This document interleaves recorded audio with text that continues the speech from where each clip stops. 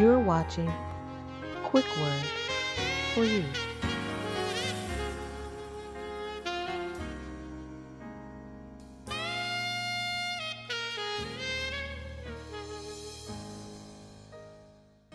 Welcome back to another edition of Quick Word for You. We are so glad you're with us again. Good to see you for another week with Quick Word. We um, appreciate you spending this time with us. Uh, the Word of God, the Bible says, is quick, which means it's living, it's active, and it accomplishes. It'll do what nobody else, nothing else, no program, no formula can do. It's the, the discerner of the thoughts and intents of the heart, and we need that today. How many of you know right now when there's such a, a, a secreted move in government, there's such a secretive move in false doctrine that we need something to cut through and, and, and tell us what the thoughts and intents of our heart are. Because that's what's going to open it up so that we can address it and say, Lord, forgive me. We can't get where we need to go without the word of the Lord. Amen. And that word of the Lord that it talks about in Hebrews that says the word of the Lord is quick and powerful it's talking about the word spoken. Amen. From a man or woman of God under the unction and the anointing of the Holy Ghost. And when that happens, it's going to do something for you. So we appreciate you tuning in today. It means a lot to us. Let me have you do this as well. Go to www.wotcministries.com. There you can see our full ministry. We have uh, things you can see archived messages of both quick word for you and don't forget our Sunday program, which is really I've been a blessing to a lot of people, which is cross country where we have guests that come, special guests every Sunday. And we talk about issues in the body of Christ and that large in the world. And we address it from what the cross of Christ says. And we're even getting questions on our live chat. So you owe it to yourself at 7 o'clock p.m. on Sunday nights to go do us another favor hit like, subscribe, and share. Yes, we need you to do it. We still want to make sure we're ahead of the algorithms. The, the devil can't stop what God's trying to do. And if we all do our parts as a community, there's no way we can stop this from getting seen. We don't want to put our light under a bushel. We want it to be seen. So do your part. Just simply hit like, subscribe, and share and we want to hear from you. Leave a comment or two. I've seen some of your comments, and they are a blessing to us. And thank you, and keep doing it. We're going to pray, and we're going to go into God's word, and we want to talk about humility, and ultimately talk about humility and repentance. What's the difference, and what's the point of it, and what does it really mean to be humble? and what is the opposite of humility. We're going to talk about that today. So you definitely want to stay tuned. So, Father, we come to you right now by the authority in the name of Jesus, Lord. And we thank you for who you are and what you have done. No one else could have done it but you. Lord, you are God in the flesh. Lord Jesus, you are the one and only supreme, the way, truth, and the life. And you are the one who made a way when there was no way. Outside of you, there was nothing. Lord, and we place adoration to you and thanksgiving to you because you're the only one and Lord, we thank you and we love you because of it. Bless us today. Speak to us. Lord, we decrease. Let you increase and give us a word so that we can go on another hour, moment, year, week, whatever. In your name. Amen. Thank you, Jesus. So we're going to get into our word. We're going to make it quick. Amen. We're going to get into the word and we're going to go to um, Peter 4, First Peter. Sorry about that. 4 verses 5 and 6. And, you know, there's a misconception. I love blowing up misconceptions. There's misconceptions in the world about what it means to be humble. Um, I, I know back in the day, anyway, preachers were considered, we needed all of our preachers to be humble, and we do. Every man of God, woman of God, whether they're a preacher or not, we need to walk in a spirit and stage of humility. But one way we judged that, whether you were humble or not, was what kind of car he drove. If he drove a beat up beater, as we call it, oh, he's humble. Or if his Bible had a bunch of holes in it and, you know, he looked like he really was struggling, then that meant he's he's humble. No, that means he's broke. Has nothing to do with humility. Um, and then the other side of it was, let's say he drove a Mercedes, and you know, and don't let me preclude this with this. We don't need our preachers having three jets and four Mercedes Benz. I'm not preaching nothing like that. But if a man of God has a Mercedes, a Jaguar, whatever, does not mean that he's in pride. No. What humility and pride is all about is what way you're going. It has to do with the way. It actually has to do with righteousness. Because remember, the righteous path or the righteous way is the path of humility. And when we jump and decide to go God's way, you have now chosen humility. Okay? Remember, the word of God says, if my people will humble themselves and pray, first of all, you have to choose which direction you're going to go. And that choice in God's way and his path is called humble. Amen. That means you are being humble. The other side of it is if you decide to go your way, and there's a lot of pride, pride undetected, sad to say, in the body of Christ. I know I know sinners have pride. I know I, we know that they're supposed to. That's like animal dogs are going to bark and smell like a dog. If they don't, I'm more confused. but when Christians don't have humility, then that's where the word of God needs to be elevated. That's where the word of the Lord needs to get in there. Amen. And we see a lot of Christians with pride, a lot of us because we don't understand what pride is. We think pride is uh, driving that better car or getting education, or he's just puffed up in education. Maybe, but maybe not. Pride, you could basically be driving a beater, as we call it, and be straight pride. You say, how could that be? I'll tell you why because if God may be wanting you to have something different, He may be telling you, get go my direction. And you choose out of his way to go your way because it makes you feel this false sense of humility, this false, which is pride, this false sense of righteousness, and you're straight in yourself now. You know, it's the same with any scenario. God may be telling you as a minister of the gospel, to um, to to tell it like it is. Preach sin, sin. Call homosexuality a sin. But because you choose to go your way instead of his way, you are now being um, pride. That's pride because you're setting yourself up as the authority. When it was God, he said, Go my way. That would be humility.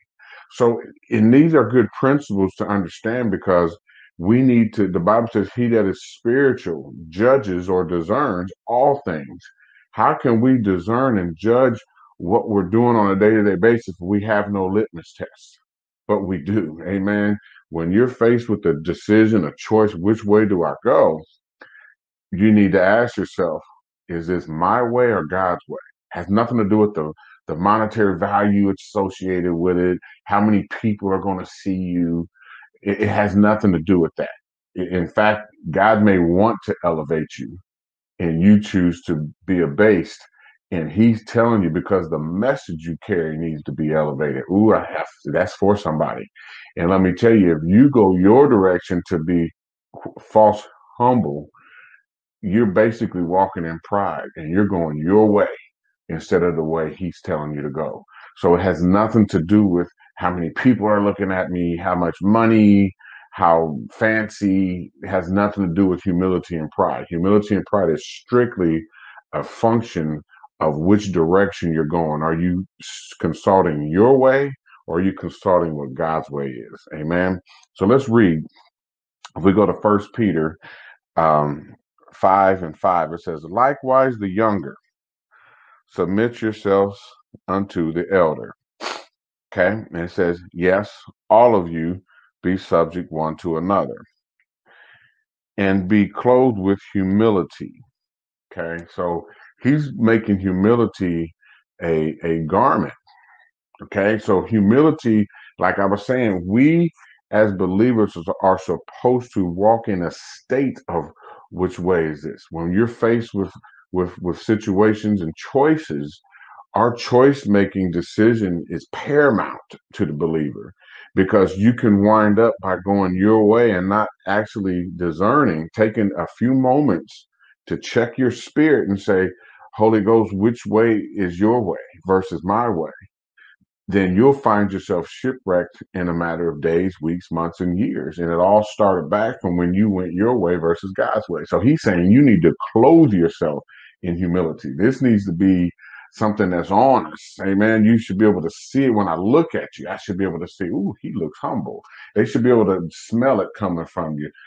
Christians should should walk with an aroma of humility that's detected, that they're not consulting their what they want but rather what God wants. Remember when Jesus said in the garden, Nevertheless, not my will, oh my God, but thy will be done. That's the ultimate act of humility. Verse 6 Humble yourselves, therefore, under the mighty hand of God, that he may exalt you in due time. And I really wanted to focus on that because he's using the word humble and exalting in the same context if humility was about being abased, then why would it tell you you're going to be exalted? Yes, it's in due time. But if God wants us to be always abased, then then humility could not be taking the lowly road. Let's just stay down low because I gotta be humble. That is not humility, amen. That's that that's could be pride. Now, where we want to go with this ultimately is for the sake of repenting. Remember where it says, if my people will humble themselves and pray, seek my face, then I'll heal from heaven and heal their land. You can't even repent unless you humble yourself first. And thus, one of the big problems in the body of Christ right now, and notice I call it the body of Christ, the church, or whatever, we don't got to split hairs on what it is. But when John the Baptist, in fact, let's go there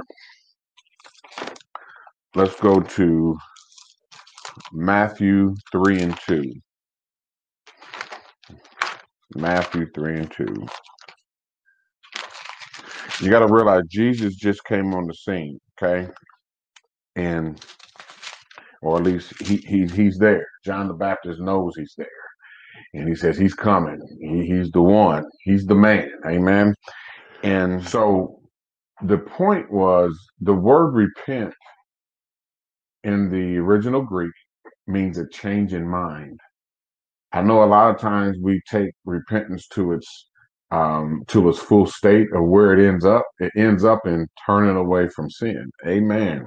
Good preaching, totally a fact. That's the goal. God wants us to turn from our wicked ways. But you know, you cannot turn from your wicked ways unless you first choose the right way, which is righteousness. And then number two, you must change your thinking. Repentance is a change in one's thinking. In the Greek, it actually means a change in mind. The actions always follow, and this is consistent with the message of the cross that Paul taught. Because we teach and Paul preached, you know, if we believe right, the actions will always follow. And if you think right, you're going to believe right. So therefore, God wants to fix us at the root cause of it all. That's one thing I love about the gospel, the pure gospel, versus man's attempt to fix us. You know, AA and NA chooses to fix man from the outside in. Psychological counseling tries to tell you that man's problem is from his community and his environment. And therefore, let's alter that to fix the inside. Let's do it from the outside in. But you know, this is this message of the gospel, this message of the cross goes to the beginning of it all, even to the word of God going to the thoughts and intents of the heart, because there lies man's problem is in his heart. And unless we first make a decision that I'm going the path of righteousness, amen. Thank God for the preacher. Because without the preacher under the unction and the power of the Holy Spirit, man won't have that confrontation in his heart that says something's wrong with the way I'm going. And you know, it's even harder to have this message with people that already know Jesus Christ or have heard of him, that have already walked with him. Because what happens, we get these false ways. You know, we get the 40 days of uh, purpose. We get the, the Jabez prayers. We get this grace revolution. We get this, all these different movements that are in the church. And we're so um, in our way that is not God's way that we won't even listen to what the men of God are saying that, hey, come out from this, come out from this. And this is really where John the Baptist is. He was amongst people at that time, which would have been the people of God. These were the people of, of, of Abraham, of his descendants. These were the people that was in the synagogues every every Saturday. And he's telling them to repent, turn, change your thinking. The kingdom of heaven is at hand. Jesus, the man, is here. He's came. And you know, that's the message of the gospel of the cross. The message of the gospel of the cross is telling you he's came. Your sanctification, not just your justification, is not in this other stuff. It's in what he did. Amen. So we need to repent.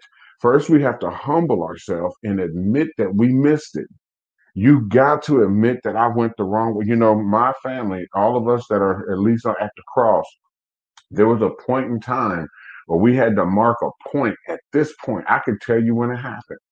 I remember when my brother was bringing it to me, there was a monumental decision. That was where the humility came.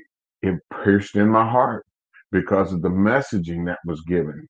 And I said, I got to change directions something's wrong. But was I you was a Christian? Yes, I love the Lord, spoke in his tongue, went to church, saved led many people to the to the Lord. But when I found out that I was not appropriating sanctification the right way, and and there was some sanctifying power there, but it wasn't nearly to the degree it should be because I had the wrong system. I was doing it the way that was out but the way that's out isn't the way that's in here. Amen. And once that's illuminated, you have to humble yourself to say, something's wrong with the way I'm going. Then you got to change your mind. How do you change your mind? Repentance will always lead to behavioral change, but it starts, the germination of it starts when you say, I repent, I'm changing. I'm going from this way to this way. Amen. I'm going to go from this set of thoughts, from this thought process that I've been given, and it obviously doesn't work. I'm going to go to this new thought process, which was always not new. It's been in the word from since the beginning. It's the message of the gospel that Paul preached. Amen. This saying, if we go back to the basics, see, repentance is always to go back. It's never to go into new. Beware of things that are new. So always to go back to the old path. Hallelujah. But it says, let's read this and then we're going to close this and we're going to pick it back up tomorrow. Matthew 3 and 2, he says, and saying, well, let's go to one. In those days came John the Baptist preaching in the wilderness of Judea and saying, Repent you, for the kingdom of heaven is at hand. Amen. That's the message to turn to change. Why? Because the kingdom of heaven is at hand. And you know what? The message of the kingdom of the gospel of Jesus Christ and Him crucified is at hand, not just for your justification, but you know what? It's also there for your sanctification. It was always there. Let's turn. Amen. Didn't say you weren't justified, didn't say you weren't saved, but you can, you need the sanctifying experience. And if you don't, you know, there's danger to not repent when the Holy Spirit's telling you to. So let's pray right now. We're going to ask God to forgive us. Let's start right now. Say this after me. Say, Father, I thank you for Jesus. Thank you for uh, leading me to repent because I've missed the mark. Some in ignorance, some by choice. But I ask you to forgive me. Lead me. I change my thoughts to your thoughts of the cross and how you fixed it all exclusively without need of anything else. I denounce psychology. I denounce false doctrines. I denounce false ways. And I hold to you In Jesus' name, amen. And let's continue all this week to just lay down all of our ways. Amen. And let's just begin to draw closer and closer to God. That's the message of this hour. It really is. It's not about how much money we can give. It's not about how good your shout is, even though all that's important. It's about how much Jesus we can fall in love with. And he who's forgiven of much loveth much. Love you. Thanks for joining us. A quick word. We'll see you again tomorrow. Amen.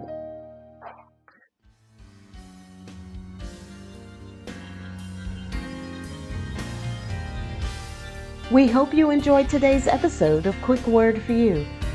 Don't forget to share, subscribe, and hit the like button, and feel free to comment. Please visit our website at WOTCministries.com. We'd love to hear from you.